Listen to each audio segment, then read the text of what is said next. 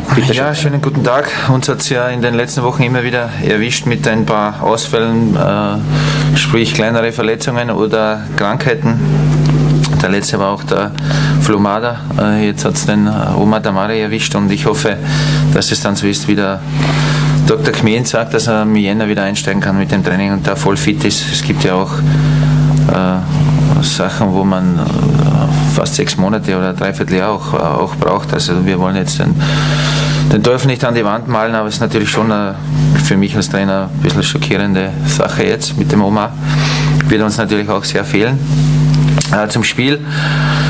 Äh, wir haben natürlich auch äh, die Möglichkeit, den Omar zu ersetzen der, als, als tiefe Spitze. Gibt es einige Möglichkeiten. Roman Kinast oder, oder Ola.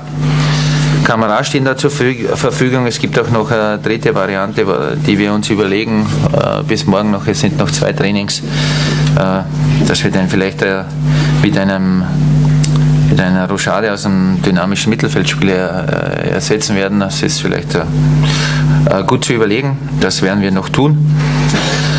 Dann das Spiel war ja in Salzburg denke ich, hochklassig mit sehr viel Tempo und auch sehr spannend. Und ich, ich gehe davon aus, dass es morgen ähnlich wird. Salzburg hat ja bekanntlich einen sehr starken Kader und die werden auch versuchen, gegen uns gewinnen zu wollen. Das wollen wir auch. Äh, wir spielen zu Hause. Wir hoffen, dass, wir hoffen, dass uns viele Fans äh, wieder unterstützen.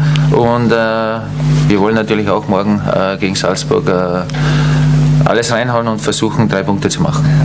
Ja, schaut, es ist immer so, es ist ein schönes Spielchen für die Presse. Also ich versuche als Trainer ehrliche Arbeit abzugeben. Ja.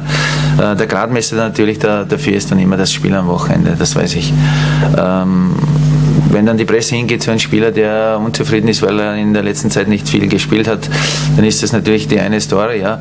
Es ist auch nicht ganz richtig, wie drinnen steht, dass ich nichts mit ihm rede. Also ihr könnt ja unseren Trainerstab fragen. Der Kini ist jetzt fast jede Woche bei uns im Büro und wir reden darüber, was wir gerne hätten, wie wir uns das vorstellen, ob er gute Laune hat oder schlechte Laune hat. Wir besprechen das alles so wie, wie bei jedem anderen Spieler auch. Und äh, er hat in den letzten Wochen mehr Liebe von mir bekommen und äh, deswegen wundert es mich, dass er ein bisschen dass er ein bisschen anders in der Zeitung steht oder in, in, in dem Bericht im Internet. Und ja, es ist ganz normal. Also der Spieler muss schon unzufrieden sein, wenn er, wenn er nicht so äh, dabei ist, wie er sich das gerne vorstellt. Aber wir haben in den letzten drei Spielen sieben Punkte gemacht äh, äh, mit den Spielen, die wir eingesetzt haben und äh, hätten natürlich auch in, in Ried gewinnen können, das ist ganz klar.